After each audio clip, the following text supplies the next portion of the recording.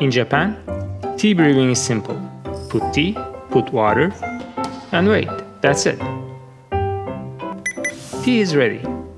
What makes it complicated is the tea ceremony itself. In this simple routine, I made at least 5 mistakes. There is no ceremony in Turkish tea culture, but the simple tea brewing task dangerous to turn into a rocket science. It is so complicated, an article from the Turkish Journal of Trauma and Emergency Surgery indicates that 64% of the household accidents happen while preparing and pouring tea. Today, I will put the Turkish tea under the microscope and show you the most logical way to brew it.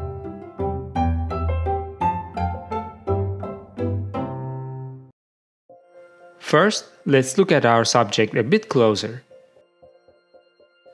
Like all tea, Turkish tea originated from Camellia sinensis. It is a mild Earl Grey, smelling more floral and perfume rather than citrus. The yellowish orange residue on the leaves is the actual caffeine. During the tea's drying process, caffeine is caramelized and turns into these orange particles, which actually is crystals.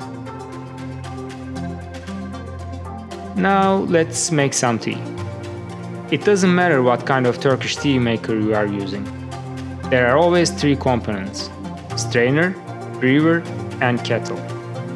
First, boil some water in the kettle and let it cool down. This process makes the lime in the water sink. Then, take the strainer. Put 1 tablespoon of tea for each person. Tea strainer goes into the brewer than the cold water we already prepared. Now fill the kettle again. Put everything together and boil the water again. After boiling complete, turn this switch on. It will keep the kettle warm. Now wait for 15 minutes for the tea to steep. This batch of tea will be fresh for at least 2 hours. It also makes 5 to 6 cups of tea for one person. Of course, we're not done yet. To pour the perfect cup of Turkish tea, you need to know a bit of molecular chemistry and a bit of color science. The color of the Turkish tea comes from a substance called tannin.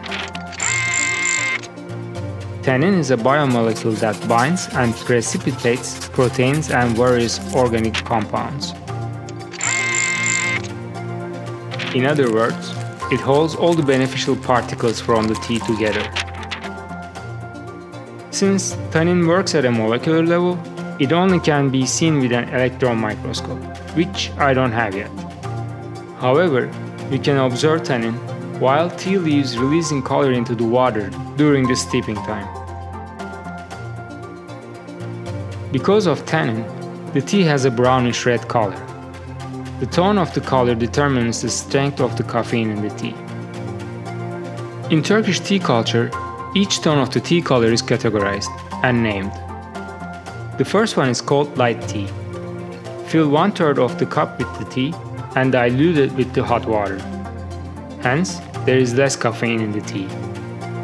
This is what doctors recommend you to drink. The second one is called steep tea which has a darker color. The amount of the tea and hot water is almost half and half. This is the most popular tone among the tea drinkers. The third one is called the bunny blood. It contains mostly steep tea and a little bit of hot water. At this point, tea tastes bitter and you might consider adding some sugar to make it more palatable. If you drink this, I can guarantee you're not going to sleep that night. And then the Pasha tea, which is a light tea with lukewarm water and lots of sugar. It is mainly made for kids. I still drink my tea that way sometimes. It is my guilty pleasure. What can I say? So, are you interested in making Turkish tea? Then check the link on the description box for the tea maker I use for this video. I don't get any benefits from this brand, all I'm asking from you in return to like my video and your subscription. Also, check out my other works. I make microscopy videos of any kind and tell strange stories.